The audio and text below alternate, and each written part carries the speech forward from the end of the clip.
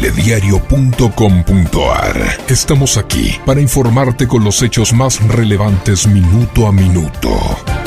Todo lo que pasa, pasa en telediario.com.ar. Somos los primeros en dar la noticia. Telediario.com.ar. Te llevamos al lugar de los hechos. La noticia en tiempo real. Telediario.com.ar. La realidad.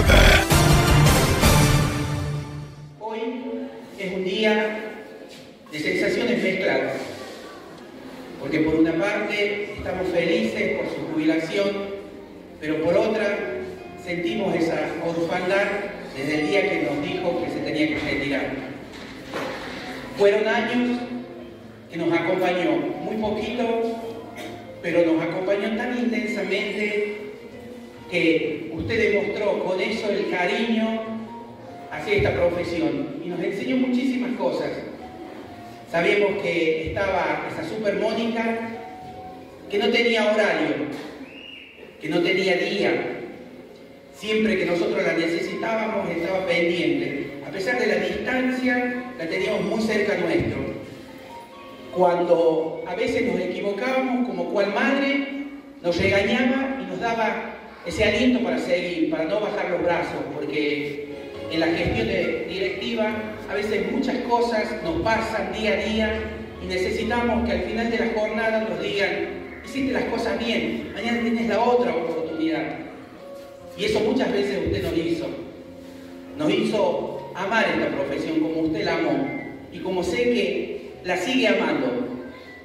Gracias por todo, por todo lo que nos dio y sé que nos seguirá dando, porque cuando nos dijeron que usted iba a ser la supervisora, muchos de nosotros decíamos, la señora Mónica, la conocíamos, pero por la trayectoria que tenía.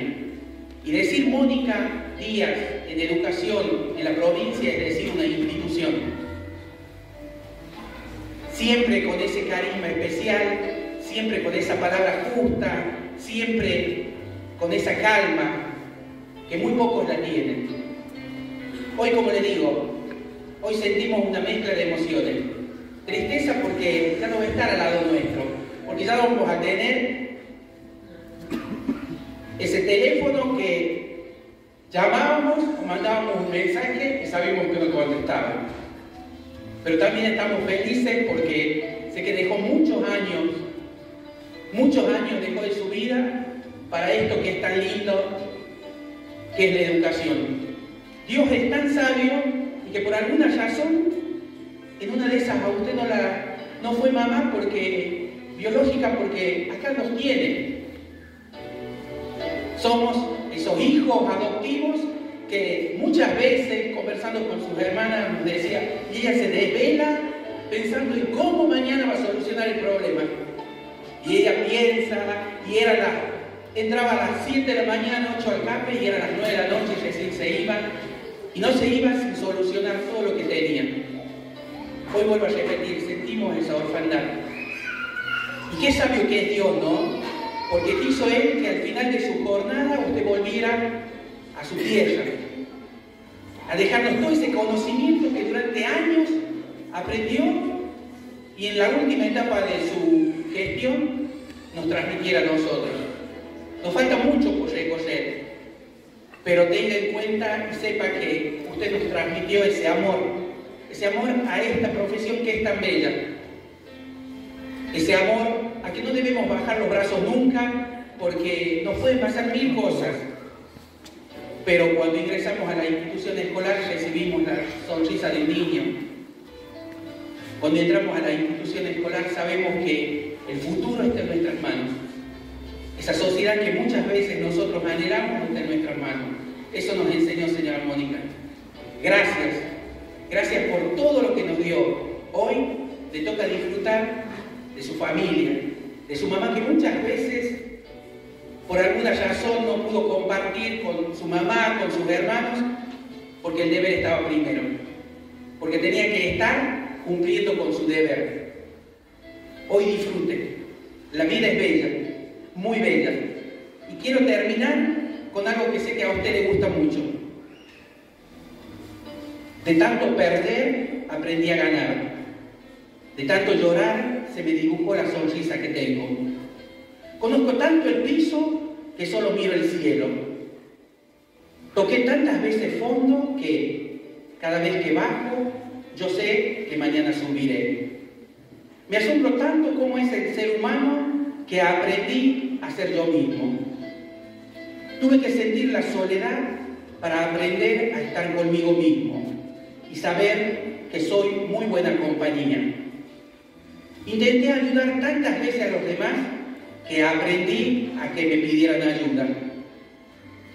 Traté siempre que todo fuese perfecto y comprendí realmente todo es tan imperfecto como debe ser, incluyéndome. Hago solo lo que debo, de la mejor forma que puedo, y los demás que hagan lo que quieran. Vi tantos perros correr sin sentido que aprendí a ser tortuga y apreciar el recorrido. Aprendí que en esta vida nada es seguro, solo la muerte. Por eso disfruto el momento y lo que tengo en este momento. Aprendí que nada, nadie me pertenece y aprendí que están conmigo el tiempo que quieran y deban estar. Y quien realmente esté interesado en mí me lo hará saber cada momento y contra lo que sea. Que la verdadera amistad existe y que no es difícil de encontrarla. Quien te ama te lo demostrará siempre sin necesidad que tú lo pidas. Que ser fiel no es una obligación, sino un verdadero placer cuando el amor es el dueño de ti. Eso es vivir.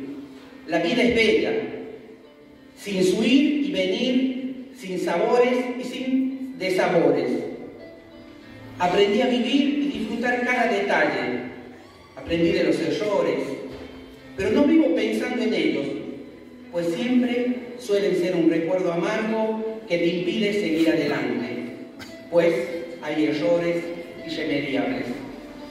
Las heridas fuertes nunca se borran de tu corazón, pero siempre hay alguien realmente dispuesto a sanarlas con la ayuda de Dios. Camina de la mano de Dios. Todo mejorará siempre. Y no te esfuerces demasiado, que las mejores cosas de la vida suceden cuando menos tú la esperas. No las busques, ellas te buscarán. Lo mejor está pasando en este momento.